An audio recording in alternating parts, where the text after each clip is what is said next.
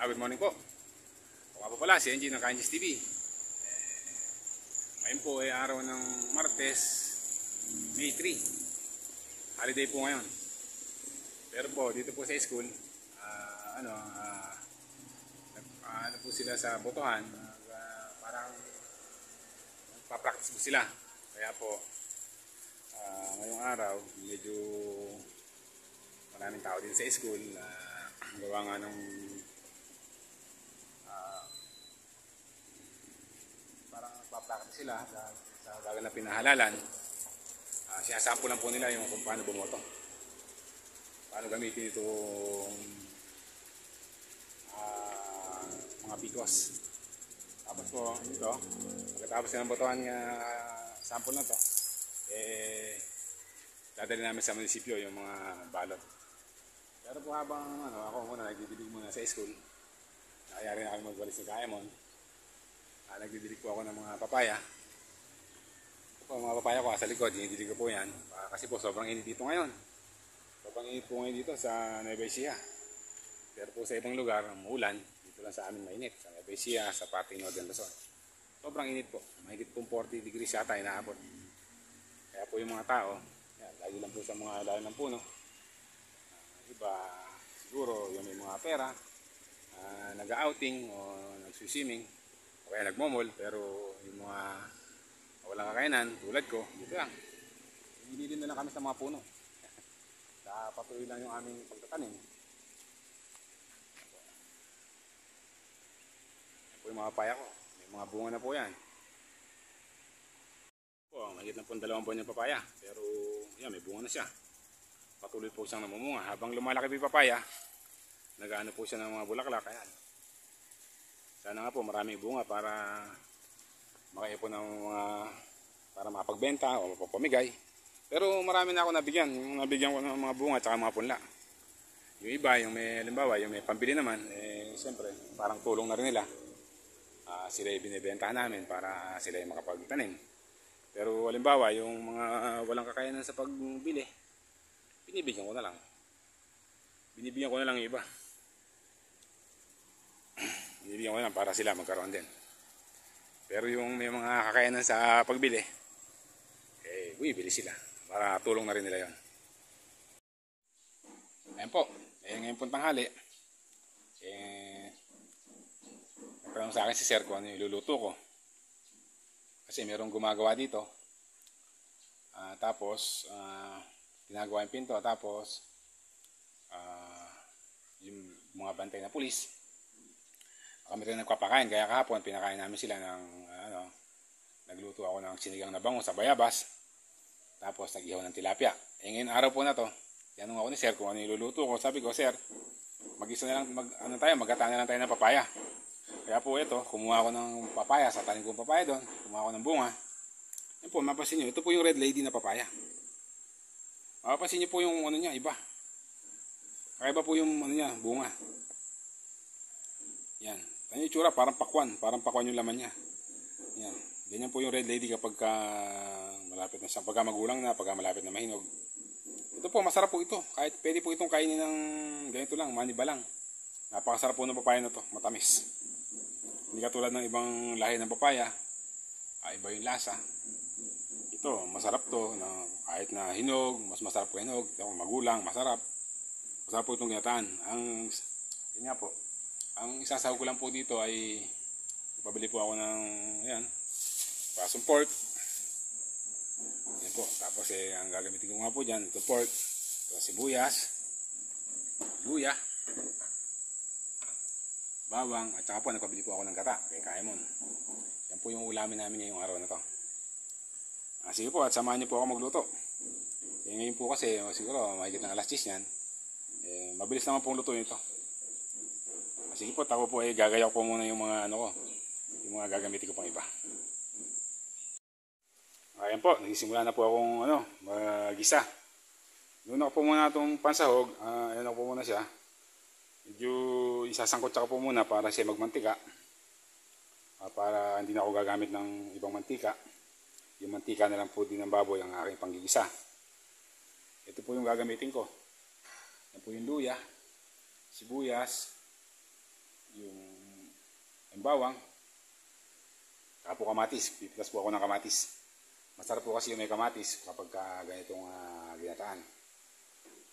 Pipitasan po ako ng kamatis na sa aking taniman. Habang isinasangkot ko to o kaya pinapamantika ko, eh, ano muna, pipitas po muna akong kamatis para mas masarap. Yan po, nahiwa ko na yung kamatis. Tsaka lalagyan ko rin po siya ng ano, siling panigang o siling berde.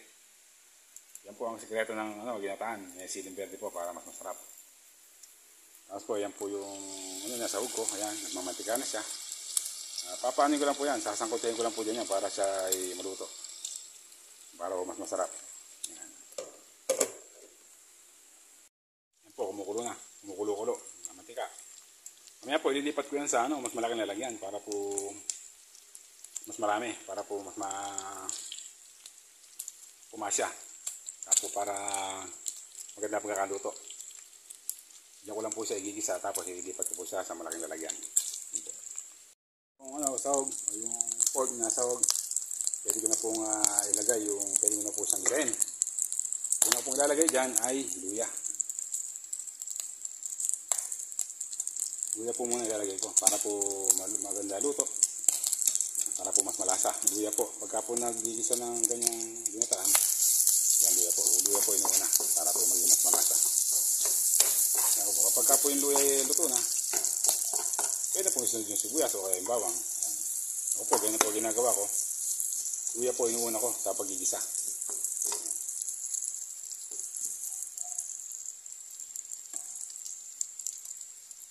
Eh, wala po kasi kami karan dito na bigas, kaya yan ang ginagamit namin. Kuryente.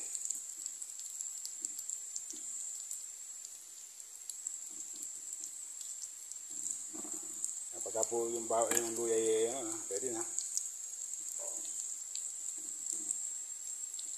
Mas maganda po, mas maraming luya para po mas, mas, mas malasa. Po, isusunod na po yung bawang.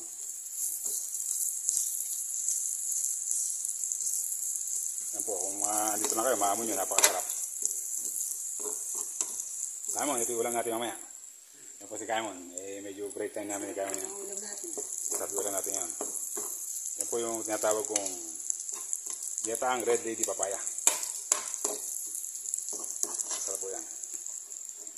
Eh, iba po, yung papayang ganito, ano lang, pinapahinog lang, pahinugin. Eh, ako po, eh, susubukan ko po kung gaano kasarap to. Meron po kasi ako isang puno ron ng papaya na hindi ko pinapahinugan. Ang, ang ginagawa ko lang po sa kanya, puro lang po panggata na ganito. Panggata, pang tinola. Yan, yan po. Isang puno po na yan. Kasi daw, yung papaya daw, kapag ka daw na kuha ng panggulay, eh, tumatabang daw. Kaya nagreserva po ako ng isang puno para dito lang sa panggata o panggulay. Ito na po yung bawang, susunod na po itong sibuyas.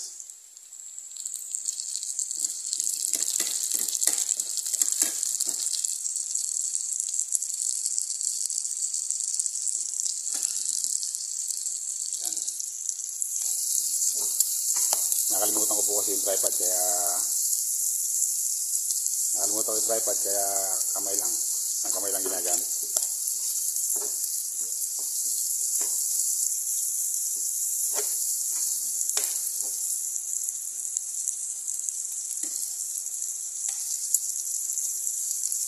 After pong maluto ng ano yan, itong sibuyas, ko lang po yung kamatis. Okay na po yan. Kasi kukulo naman ganyan eh. Pwede na pong sama-sama ganyan. Matagal naman po silang kukulo dyan. Bali po ang ginamit kong mantika dyan, yung sariling mantika lang din po ng kami. Hindi na po ako gumamit ng mantika na diba? Yung mantika lang po ng kami kasi nagmantika na siya. Pwede na. Kung gagamit pa ako ng mantika, madadagdagan pa ng mantika. Apo okay yan. Napakabango po kung ano. Kung nandito lang kayo, maamon nyo mabango. Yan. Yan. Ayan po, na, nasangkot ko na po yung ano, nagisa ko na po itong sawag at saka itong mga iba pa, yung, yung luya, yung kamatis, yung bawang, sibuyas. Eh, off ko po muna yung kalan. Tap- Tapos mamaya, doon pagka nilipat ko na po ito, doon ko na po ilalagay yung gata. Saka yung papaya. Sige po. Maya maya pong konti. Ayan po, nailipat ko na po sa malaking lalagyan yung, ano ko, yung aking sinangkot sa kanina. Nilagay ko na po yung gata. Kapag ka po kumulo na yung gata, nilagay ko na po yung aking hiniwa na red lady papaya. Eh, saglit lang po yan maluto. Tapos po, ah, kapag ka po malapit na maluto, kukuha po ako ng malunggay. Lalagyan ko po ng konting ah, dahon ng malunggay para mas magandang tingnan. Ayan po. Ayan po, natatakam na ako. Yan, kumukulo-kulo na po yung gata. Ayan po, kumukulo na yung gata. Eh, pwede ko na pong ilagay yung aking red lady papaya. Aking niwang red lady papaya. Ito yung papaya natin. Iba yung kulay. Ito yung kulay pala ng papaya, iba. Yan po yung itsura ng red lady. Kaya po kung bibili kayo ng papaya, red lady po, ito po ay napakasarap. Kahit hinog o kaya ganyang magulang, yan, napakasarap din po. Parang ito yung itsura, parang pakwan. parang pakwan po yung kulay ng kanyang mapula. Yan. Tapos makapal. Yan, kumukulo na po, ilalagay ko po siya dyan. Eh, wala po akong dalang tripod, kaya hawak-hawak ko lang yung cellphone. Ilalagay ko po muna. Po, nalagay ko na yung papaya sa aking lutuan. Yan, kung mapapansin nyo, ang ganda ng kulay. Yan.